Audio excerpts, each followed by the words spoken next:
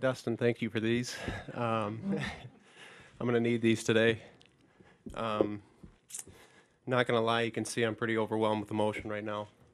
Um, seeing everyone in here, um, in this room today, it means so much to have you all here.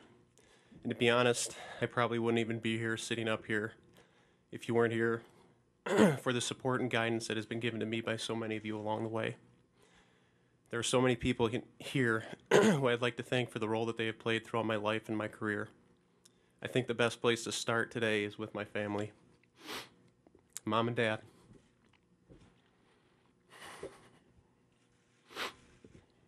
Thank you so much for always believing in me.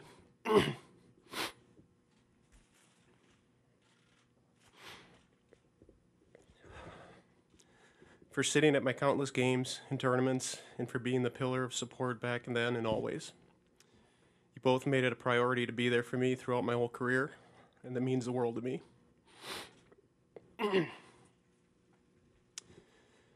You've helped keep me grounded and have never let me forget my roots. And Maddie, I'm not sure I have the right words to express my gratitude my admiration, or my love for you. You have been my biggest supporter, my biggest fan, and my rock. You made everything happen at home so that I could go out there and, and play a game that I love.